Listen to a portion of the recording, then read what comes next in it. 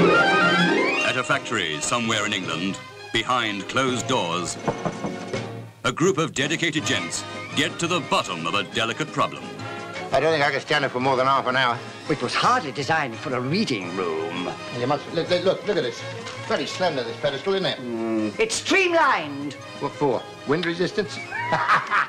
Yes, it's your favourite comedy team going round the bend again in Carry On at Your Convenience. Produced by Peter Rogers, directed by Gerald Thomas. Look, Mr. Lewis, the National Union of Chinaware Industrial Employees. Well, you know what you can do with their rule book. I am now calling for an immediate stoppage of work. All those in favour, raise your right hands. Everybody out! Oh, come on, get going. Workers of the world unite, they have nothing to lose but their dignity. There you are, Mr. Spanner, just in time for your drink. They're coming back! I had a feeling they would today. Why today? It's the annual works outing. We are the champions! Oh, what was that sticking in me? It was only my camera.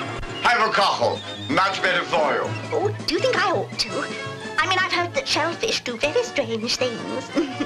In a sex way, I mean. Really? Ooh, let's watch him for a bit then. You'll burst with laughter when this crazy gang decide it's one out, all out to relieve another work stoppage in Carry On at Your Convenience. Ladies, that this strike is quite legitimate. That's more than they say about you.